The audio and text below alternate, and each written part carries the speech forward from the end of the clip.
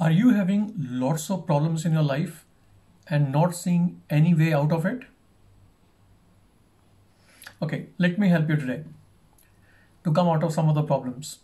So when you have lots of problem in your life and you're not seeing any way out of it, uh, first try to divide these problems into two categories. So one category of problem on which you don't have any control. You don't have any solution for them. Leave those things apart. Now take the second set of problems basically on which you have some level of control or you have some sort of solutions for them. Now take up those problems basically first on which you have some control, some solution. And now those problems on which for you have some solutions, you don't focus on those problems, you focus on the solutions of that problem.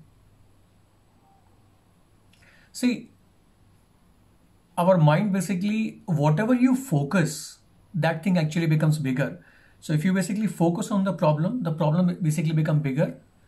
And then our mind started multiplying that fear of that problem.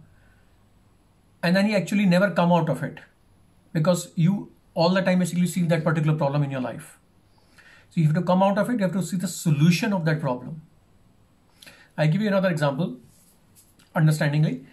Um, I think I, I, read somewhere that you know, the, the trainer who are training the drivers for the fast racing uh, for the cars how they train them. So they said in the first time when they are coming uh, the drivers so what the trainer does for example this is the way uh, you know the path of the road and somewhere in between or somewhere this side they put a basically big hat you know the hat huge on the road somewhere in the middle of the road. But still there is a space where the car actually can pass away. And they said on the first lap almost almost every driver actually ended up hitting on the hat.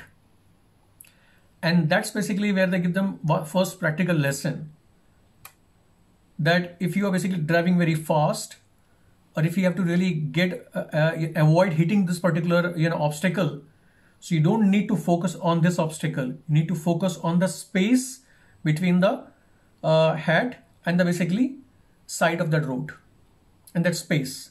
So focus not on the hat focus not on the problem focus on the solution, focus on the space which is left behind, which is left on the side of it.